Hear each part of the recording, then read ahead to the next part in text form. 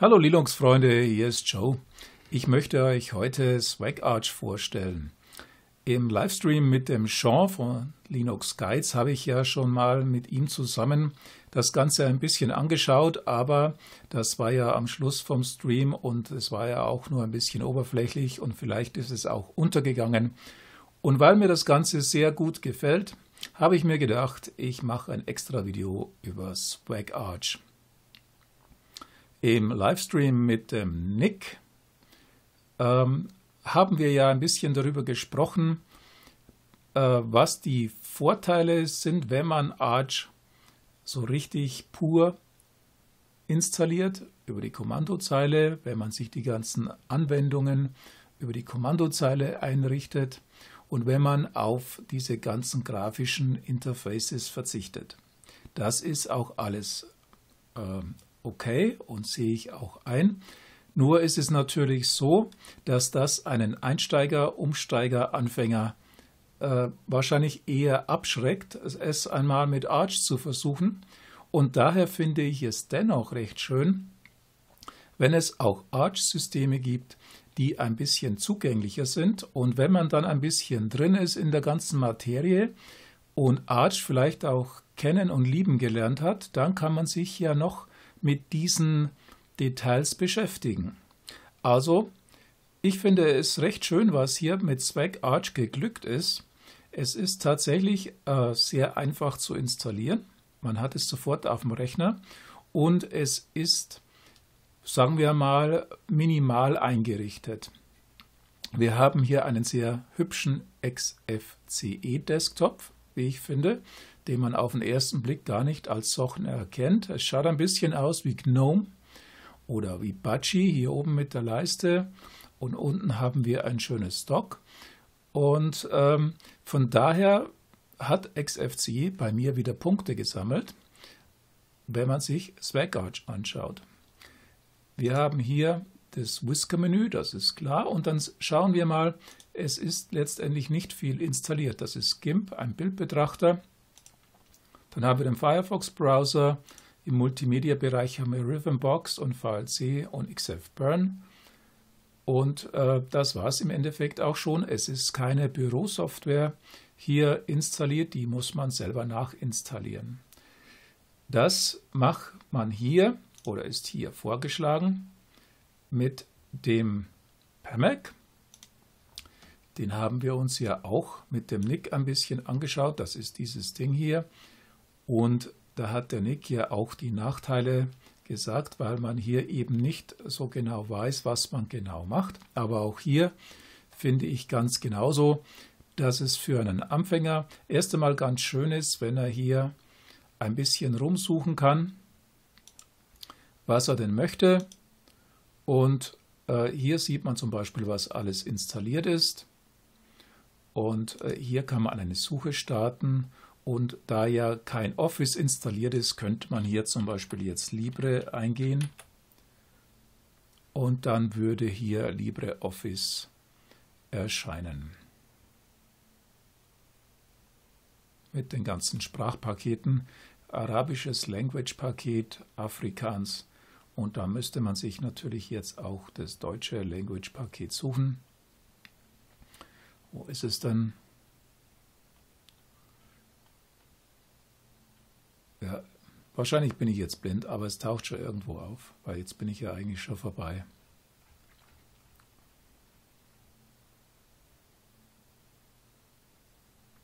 Ja, okay, das wäre das hier, wie man etwas nachinstalliert. Dann haben wir hier einen Update Manager und der sagt mir jetzt, ich kann etwas aktualisieren, deswegen ist das hier oben rot.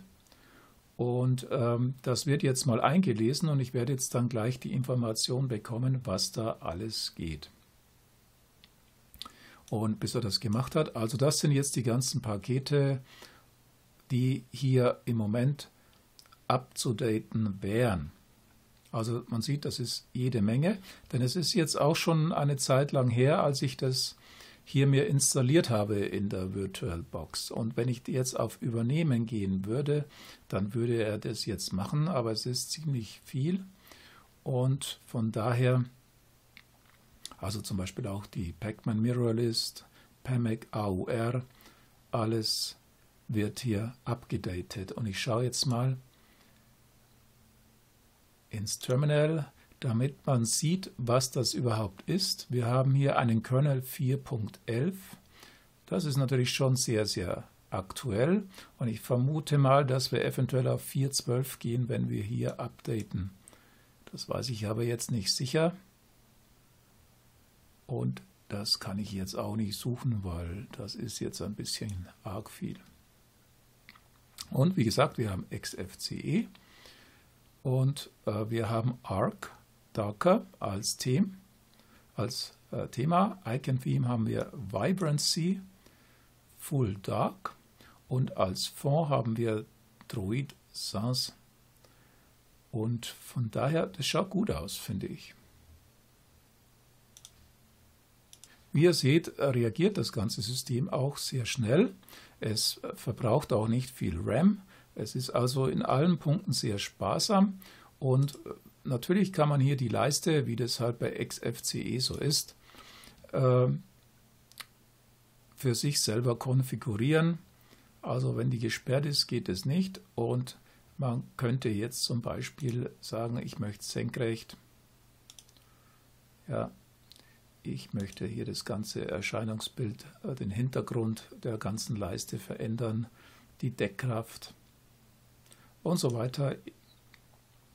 Ich kann das Ganze größer machen, ich kann es kleiner machen, ich kann äh, zwei Zeilen erzeugen lassen, ich kann es verkürzen.